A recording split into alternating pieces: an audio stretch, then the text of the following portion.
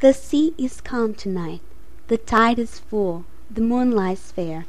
Upon the straits on the French coast the light gleams and is gone, The cliffs of England stand, glimmering and vast, out in the tranquil bay, Come to the window, sweet is the night air, Only from the long line of spray where the sea meets the moon blanched land, Listen, you hear the grating roar of pebbles which the waves draw back and fling at the return up the high strand, begin, and cease, and then again begin, with tremulous cadence low, and bring the eternal note of sadness in. Sophocles long ago heard it on the Aegean, and it brought into his mind the turbid ebb and flow of human misery. We find also in the sound of thought hearing it by the distant northern sea.